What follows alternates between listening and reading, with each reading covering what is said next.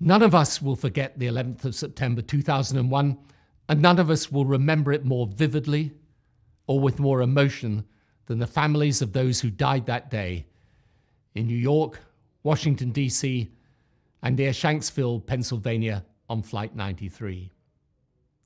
So many lives lost with such brutal finality, innocent lives, those taken with no more logic than being in that place at that time, struck down by those who, through perverted logic, thought this destruction justified by a cause which seems as flawed and irrational now as it did on that September day.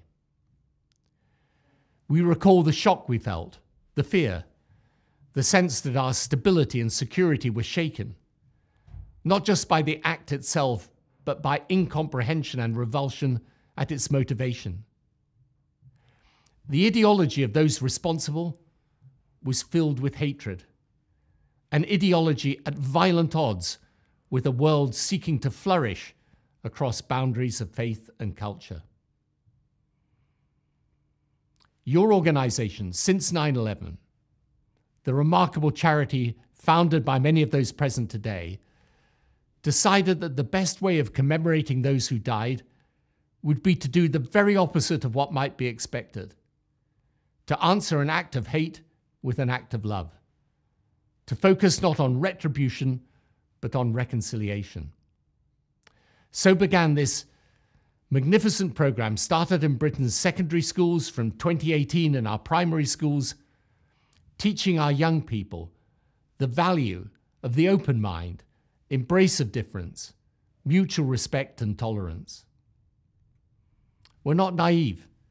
We know that we need measures of protection and security.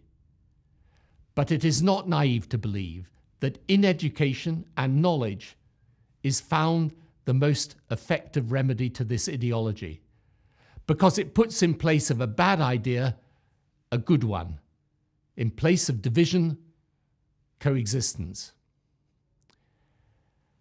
I cannot be with you in person because I am in New York attending the annual event of another 9 11 organization with which my institute works, whose purpose also is through charity to help those who need our help, whatever their religious faith. Like you, they wanted to place opposite the destructive the constructive. To show that though an act of terrorism can kill the body, the human spirit remains indestructible and will prevail. What you represent could today not be more timely. It's hard on this 20th anniversary occasion and in the light of renewed turmoil in Afghanistan, not to retreat into anxiety for our world. Your organization, since 9 11, brings us back to hope.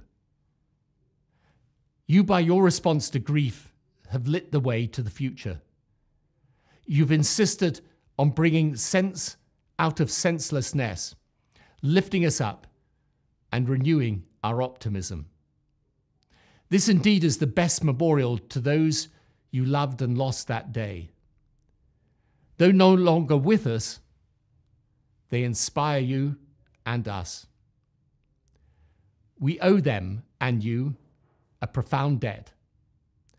Because if you, with every reason to turn away in anger, have decided your duty is instead to do good, then our duty surely is to support you in any way we can. And that is what we commit to doing today.